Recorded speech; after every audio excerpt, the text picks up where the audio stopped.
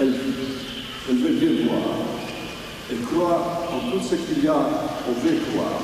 Et d'une cette manière, les régions ateliers, c'est-à-dire les grands espaces du monde dans lesquels il n'y a pas de trafic, trafic ni d'industrie esthétique, sont un peu comme des réserves neutres de la nature, dans lesquelles les beautés de la Terre telle qu'elle est conçue par l'esprit humain peut exister sans être perturbée. Il y a donc des régions du monde qui subjectivement l'on peut considérer comme les parties intimes du monde. Si on peut parler aussi d'atelier de l'artiste, tant que l'artiste ne se met pas prétendre qu'il lui appartient ou qu'il peut le changer et l'améliorer, etc. Ainsi, je pense qu'atelier dans cet endroit il fait quelque chose en laissant derrière soi les, choses telles que la nature semble avoir fait, s'il est encore possible de rencontrer quelque chose qui soit encore entièrement naturel, peut permettre d'induire de plus pure expérience de cette, cette création.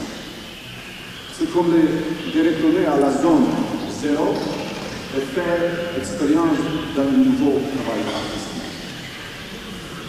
Mais comme je le dis, plus les choses deviennent matérielles, plus elles deviennent ennuyeuses. Seule l'échelle peut les rendre communicables.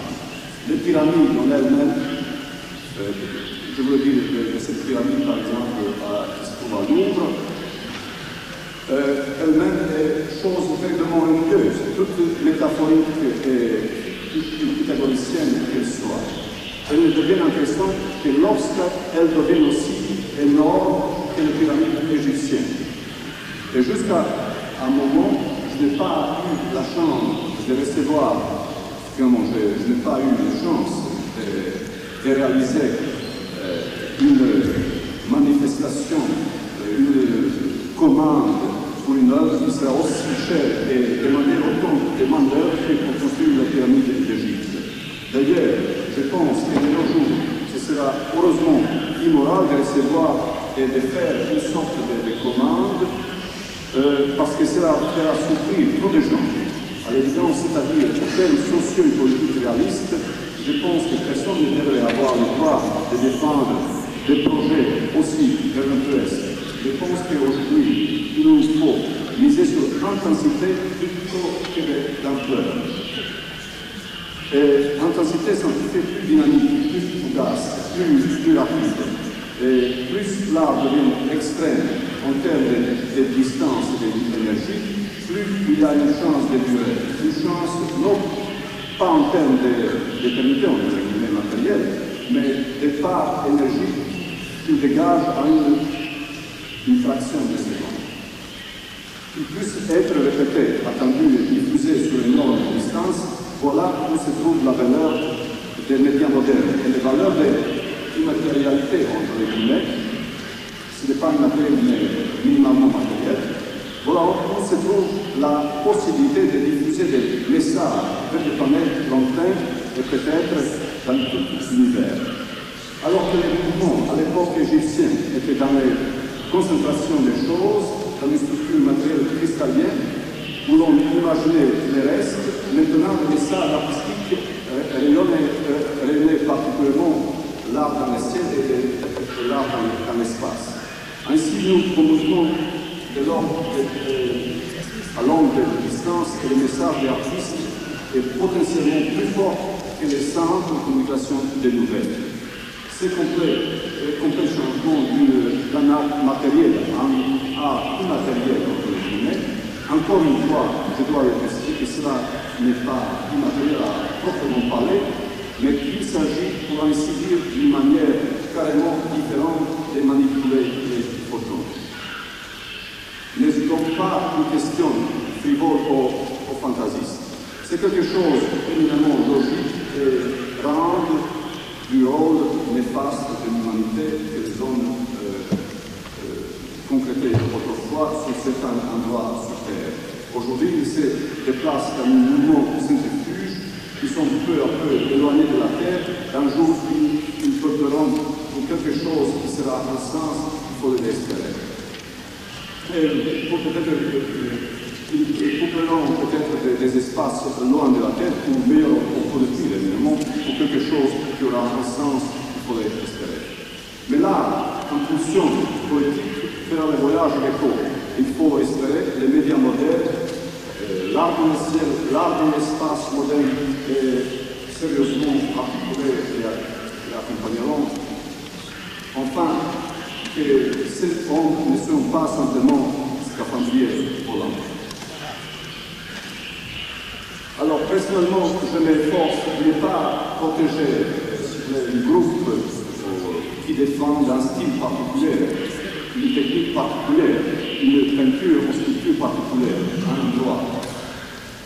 Mon propos est d'encourager surtout, euh, présenter et matérialiser une nouvelle attitude d'ouverture.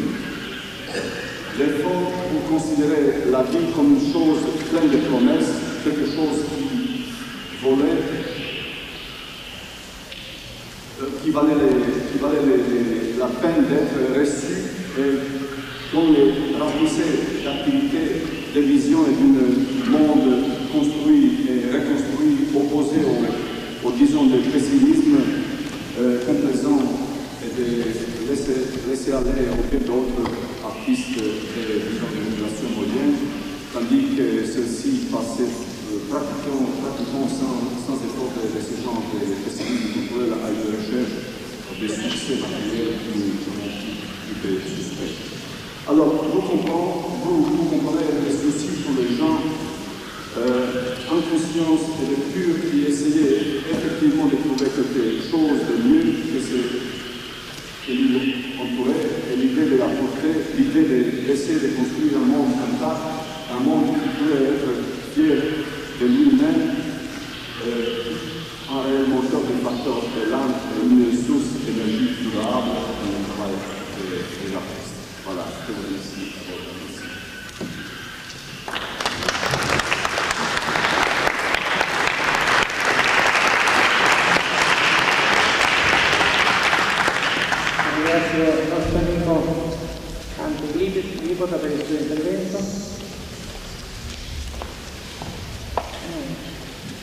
Allora, eh, adesso c'è eh, un breve intervento di un uomo di lettere molto erudito che viene qui da San Firenze.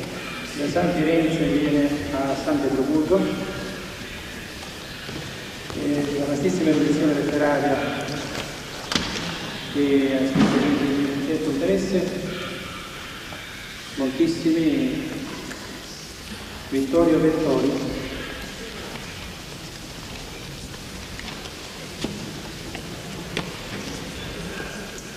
E con questo diamo anche un saluto a Firenze.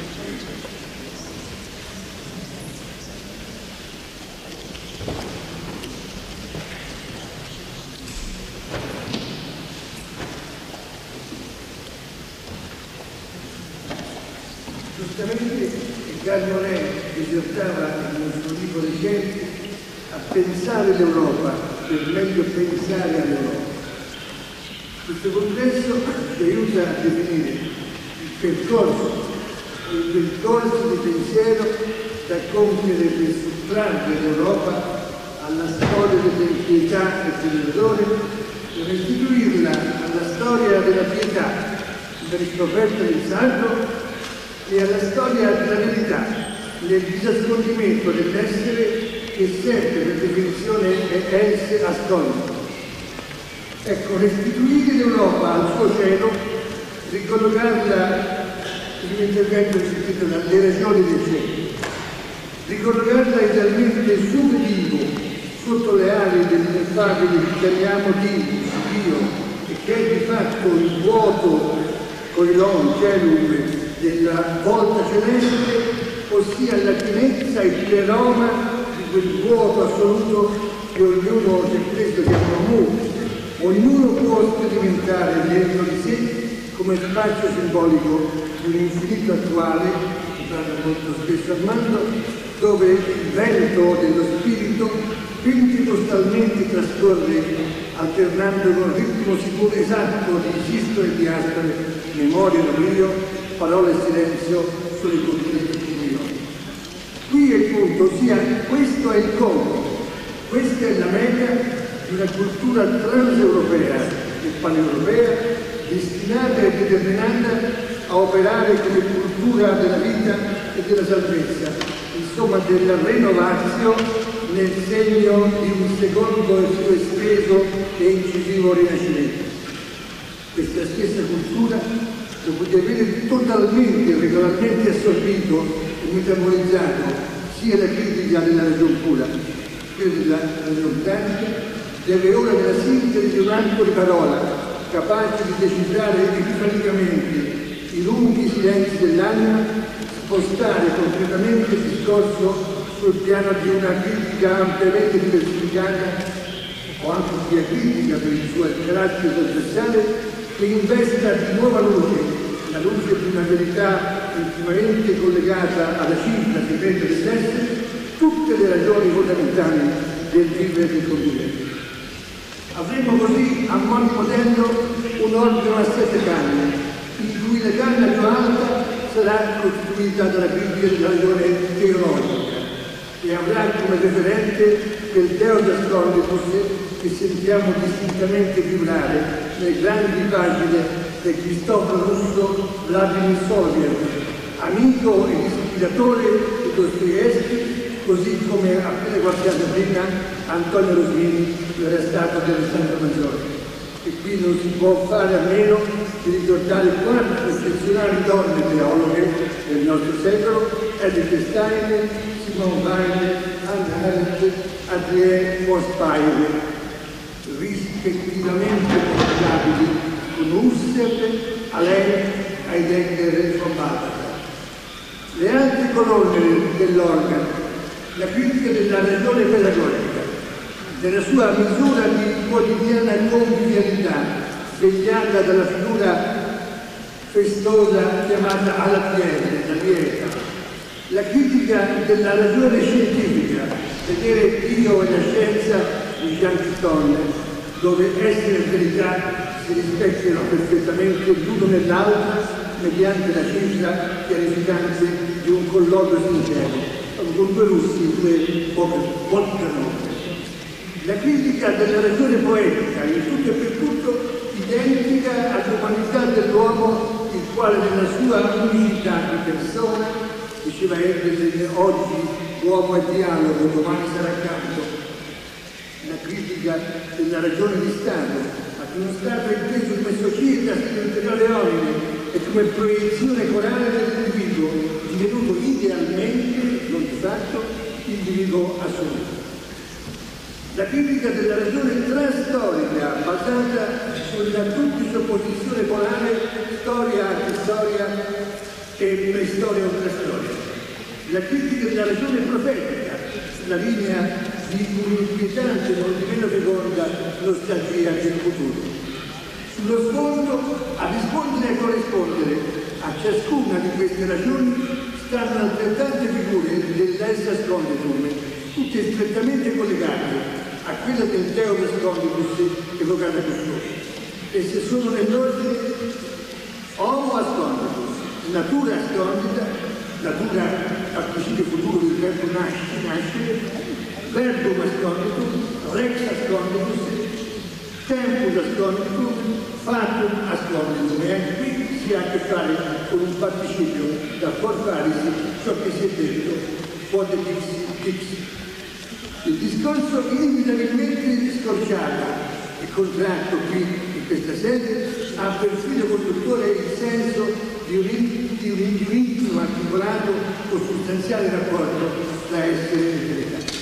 Basti per il momento che si accetti veloci, necessariamente schematici e provvisori. Vorrei solo aggiungere che pensare è anche pesare, calcolare così come raccontare che risultava efficacemente Vai nel suo libro La ragione narrativa vuol dire anche contare, amministrare. Da qui la connessione esistente tra cultura e finanza, economia, una connessione da sviluppare se vogliamo che il cielo d'Europa e la sua terrena economia possano armonicamente integrarsi. Grazie.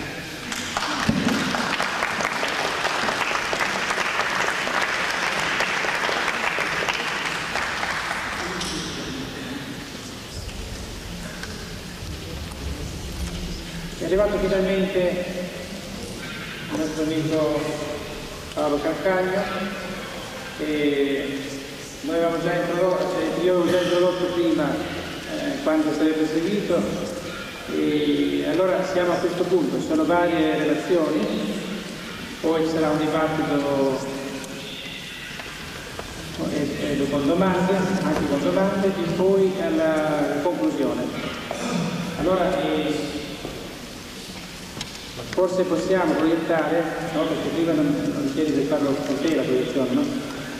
Una parte, se possibile quella relativa lì al Colosseo, no? che poi forse è una cosa interessante per il pubblico, e una parte soltanto, il, il, video eh, trasmesso dalla televisione italiana con il, di cui ho visto il autore appunto eh, Paolo Carcagna che nel video stesso illustra le realtà virtuali no?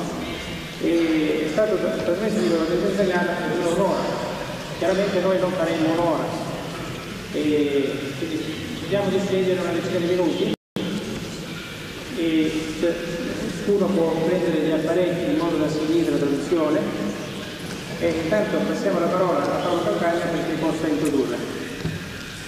Paolo Calcagna è giornalista del Corriere della Sera in Italia e si occupa in particolare della, della pagina relativa alla televisione, al video e è produttore anche di video e diciamo in Italia prima di altri si accorge di quanto in questo settore, soprattutto nelle realtà virtuali, accade in eh, vari paesi.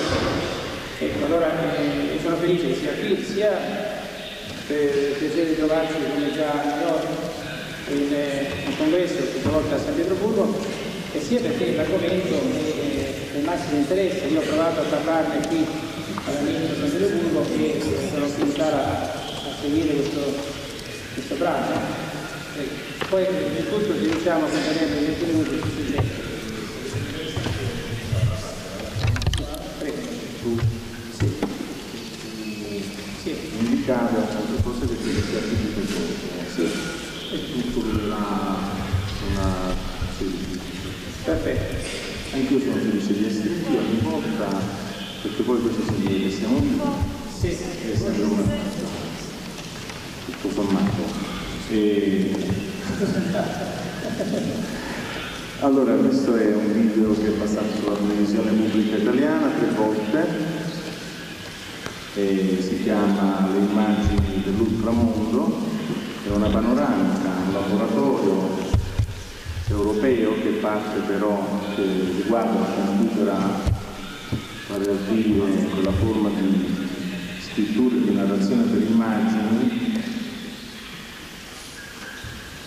che fa capo alla nuova tecnologia del computer, immagini che vengono elaborate dal computer o addirittura inventate, trattate, trattate quindi nell'elaborazione, addirittura create dal computer, immagini a due o a tre dimensioni, in questo caso parliamo di tre. Tutto quello che è possibile fare con la computerata, al di là della ricerca dell'autolezione eh, del ghetto artistico in cui si sono infilati gli autori di computer art.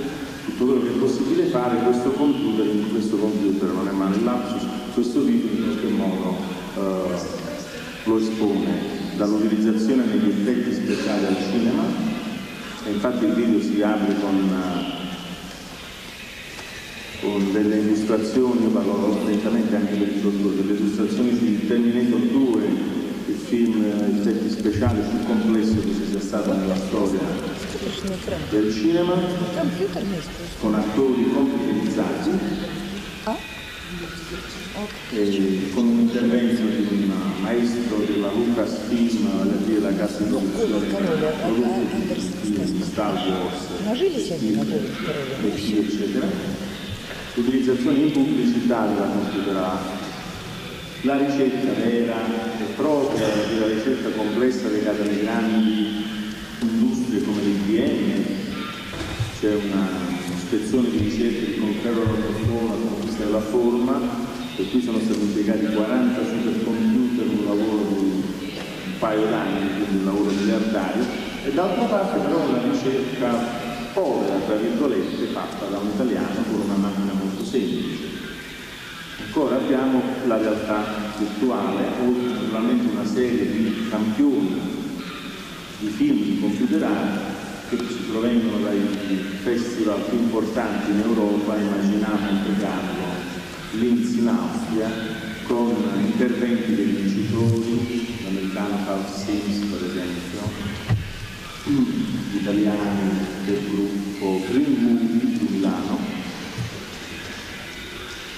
altissimo vincitore, e poi finalmente la realtà virtuale, la realtà virtuale che eh, potremmo mandare se volessi trovare subito, che proprio c'è una mia introduzione da Monte Carlo su che cos'è? E poi ci sono dei film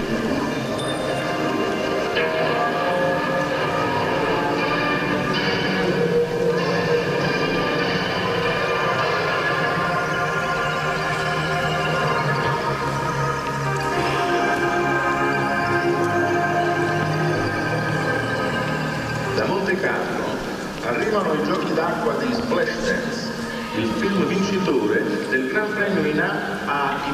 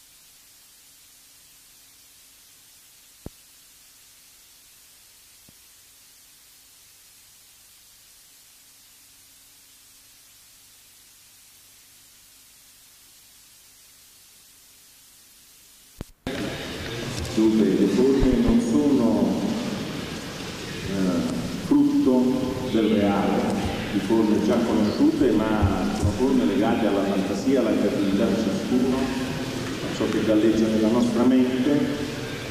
Sono forme che proprio per questo si pongono una dimensione ulteriore che sfugge ai vincoli al controllo dello scenario e della visione eh, usuale e che quindi si pongono fuori da ogni controllo magari per dire una parola che cara potrebbero rappresentare la cifra nuova, eh,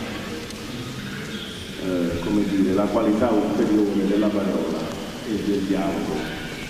In questo caso attraverso immagini.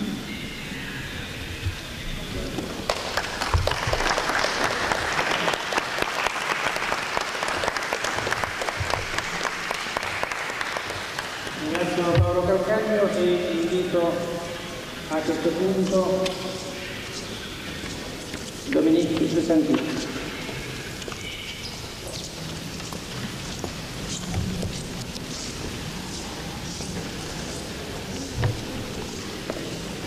Domenico Giusanti ha già anticipato il tema del suo intervento e si tratta, lei è romanziera, eh, eminentemente e si, vedendo che è San Pietroburgo dunque ha eh, deciso di parlare che si portare la novella, no? la novella di San Pietroburgo. Alors, avant, euh. Est-ce que ça va comme ça On entend. Alors, avant de commencer à lire ma nouvelle, qui a un rapport très précis avec Saint-Pétersbourg, je vais vous dire ce qui m'est arrivé sur l'aéroport de notre belle ville. On m'a pris une sacoche, une seule, mais c'était celle dans laquelle il y avait mon texte. J'ai donc été obligée de le reconstituer et c'est pourquoi je ne lirai pas la traduction des vers de Anna cette traduction que j'avais revue et que je ne sais pas par cœur. Alors veuillez m'en excuser et à présent je commence. Euh, J'ai la chance de vivre euh, ici, aujourd'hui, au moment des nuits blanches.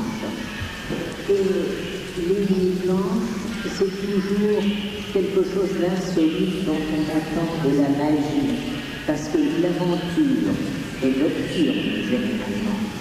Mais une nuit qui se travestit en jour laisse espérer une aventure à la fois nocturne et jour. Ceci se passait dans les années 80.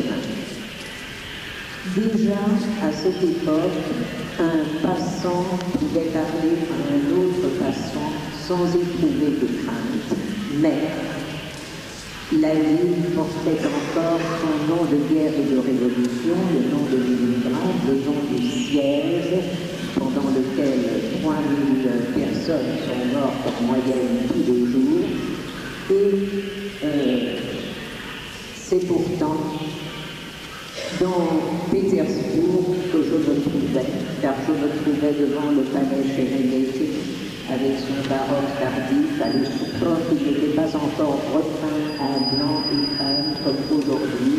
Je levais la tête et en moi j'écoutais une voix que je n'avais jamais entendue vivante, vibrante. Je la connaissais seulement dans la relative des enregistrements. De même, la personne qui parlait en moi sans que les autres puissent l'entendre, cette personne, je ne l'avais jamais vue en noir et blanc sur les portraits, guerrier fruste, épaules larges, hanches étroites, puis d'âme majestueuse, mais elle avait toujours gardé le même visage pur et dur, le visage austère de la tragédie. C'était une dame de tragédie. Et en moi, sans que personne puisse l'entendre, je chantais des vers. Le réséda sans l'eau et l'amour sans la pomme, disait la voix en moi, et soudain, j'ai entendu près de moi une vraie voix, une voix vivante qui continuait le poème et qui disait Mais nous savons maintenant pour toujours que seul le sang a l'odeur du sang. Je me suis retournée. J'ai vu un homme encore plus âgé que moi, c'était dans les années 80, et il avait cet air que nous avions attribué si longtemps aux Anglais comme il faut, aux gentlemen, comme on disait.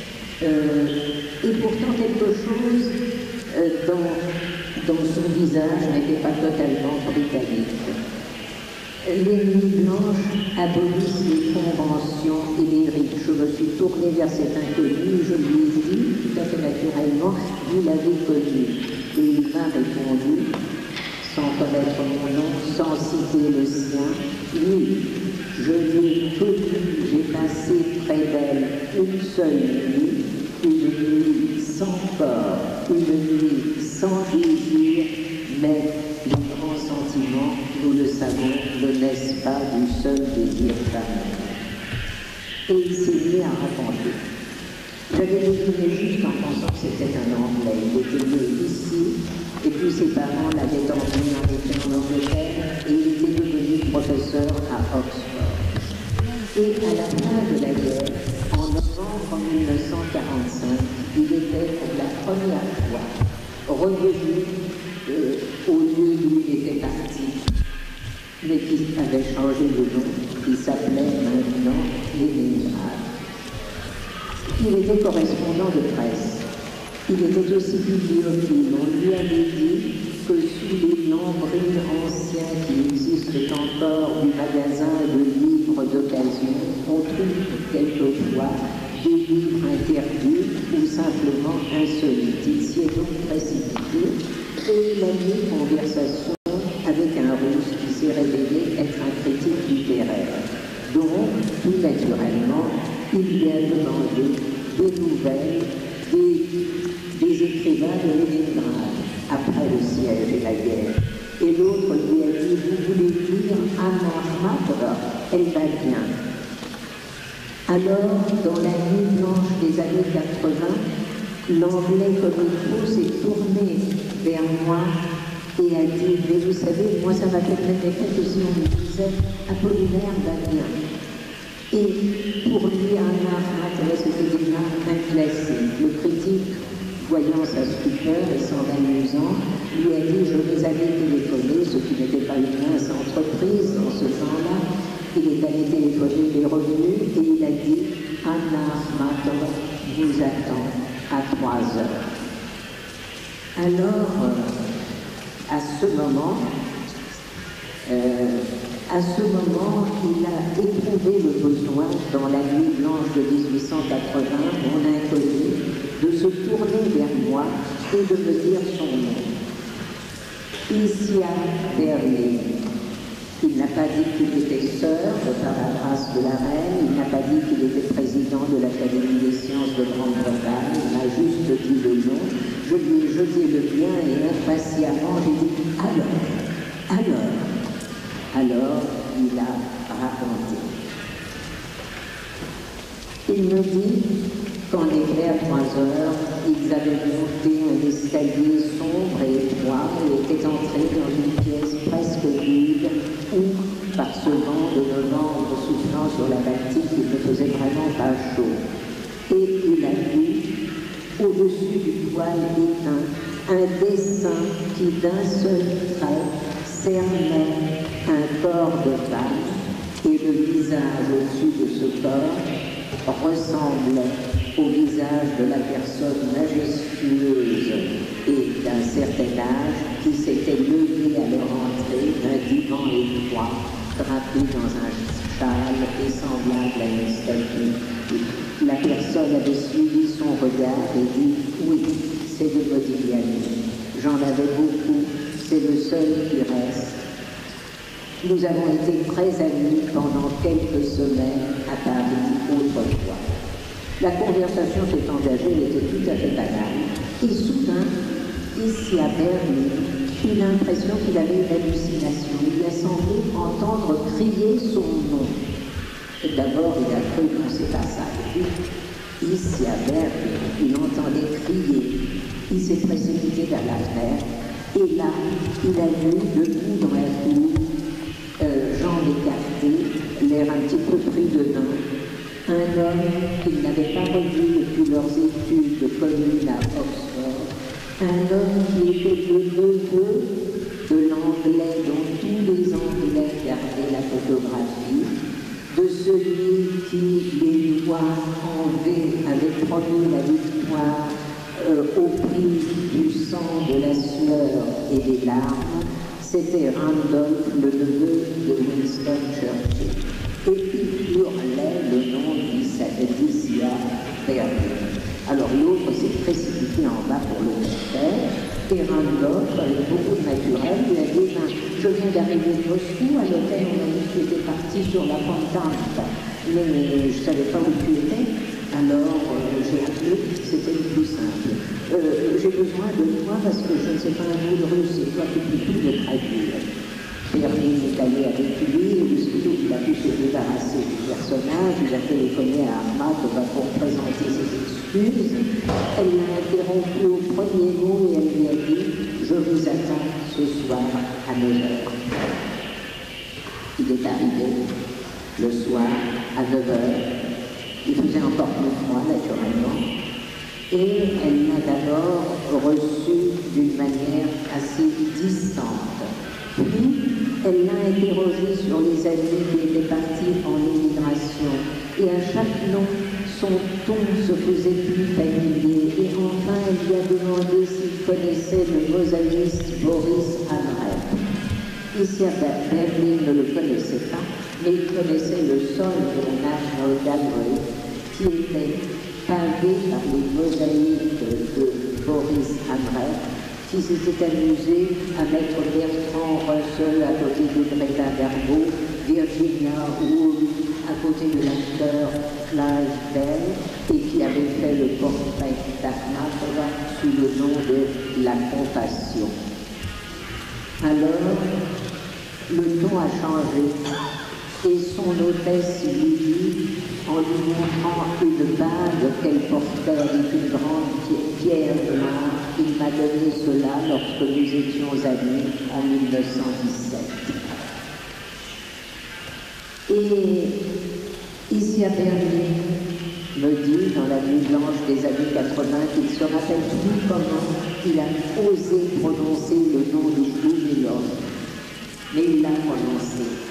Et elle s'est mise à réciter les vers qu'elle avait écrits entre le moment où dans ce même palais de Taurine où nous nous trouvons en ce moment, en, cette heure, où nous nous trouvons en cette heure, il avait été condamné à mort et le moment où il avait été effectivement fusillé, c'était donc en 1921.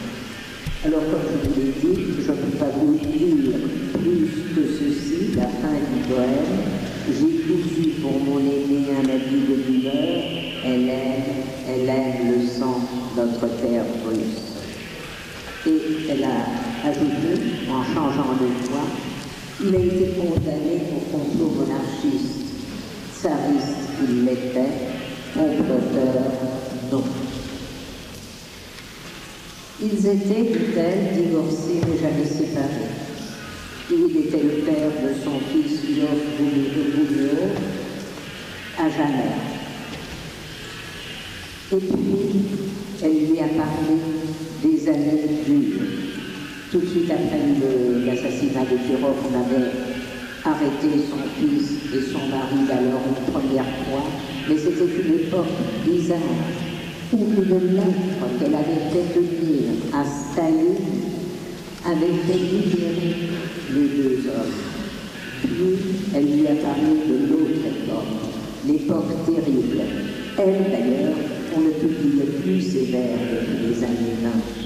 Mais à la période de 37-38, l'homme qui lui était le plus proche, Osip Mandelstam, avait commencé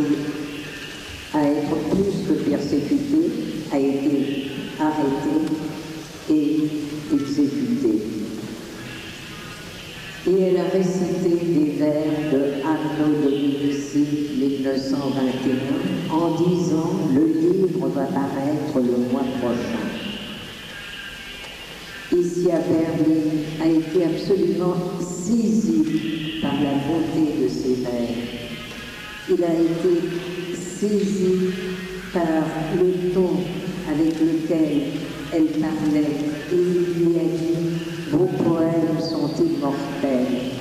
Et alors il a entendu la voix, une autre voix, pas du tout la voix de la dame de tragédie qui déclamait des vers, une voix d'enfant blessé qui dit il y en a un autre, le plus grand poète vivant, qui a écrit des vers beaucoup plus beaux que les miens.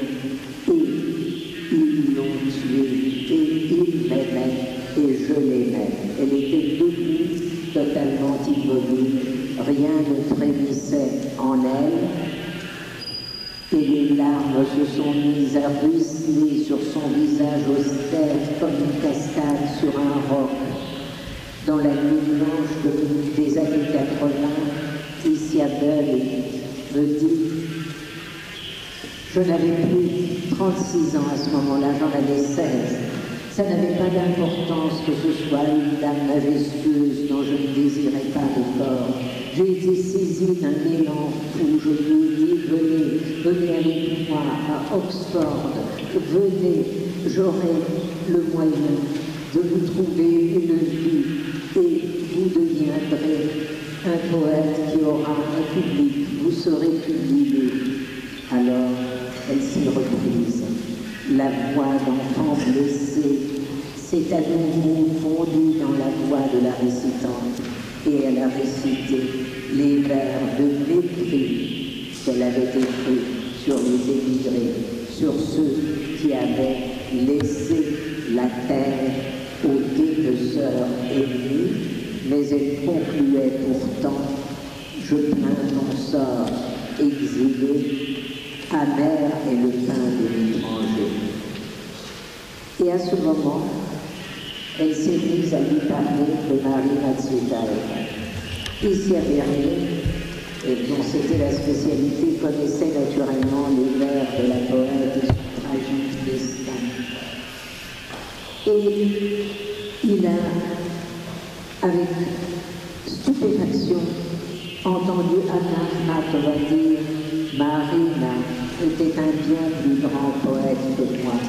alors qu'elle avait toujours répondu par la plus totale indifférence aux vers que l'autre, la plus jeune, lui consacrait.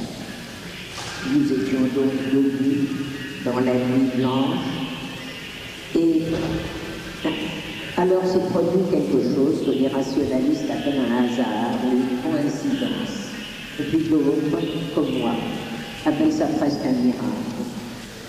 Un jeune couple est arrivé. Je sais que les Russes, quelquefois, récitent des vers à haute voix et qu'on les écoute dans des lieux dont ils éprouvent une intense poésie, devant une statue, devant la maison où a vécu père.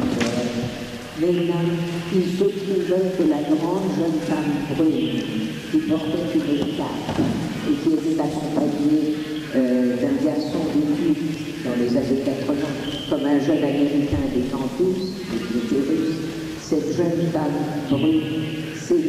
réciter entre tous les poèmes possibles, précisément quelques vers du seul poète qu'Amar a consacré à Marie Matsukaeva.